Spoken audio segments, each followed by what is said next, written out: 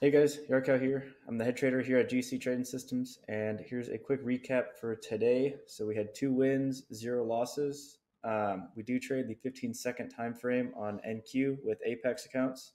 So market opened right here, this blue line. So we had this tiny little scalp right here, one to one R. Uh, made a few points on that. Looks like four points on that trade. Saw a little version of our pattern in there. Um, then we also had another trade right here. This is the second trade of the day. I had a limit right here. This is also a 1R, made around five points on that trade. So two quick little scalps for the day, 2 and 0. Pretty much no drawdown on both of these trades, so that was really good. And yeah.